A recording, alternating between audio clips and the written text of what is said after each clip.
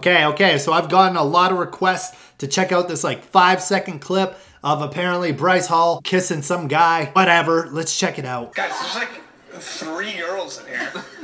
so obviously I'm going for a guy, Markell.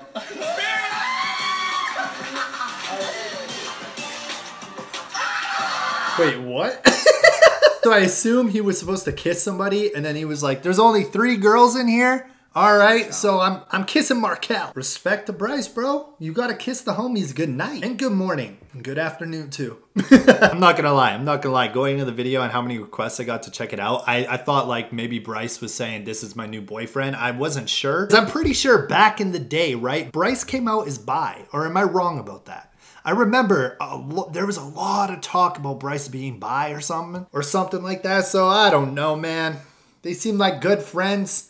That's what good friends do. Peace.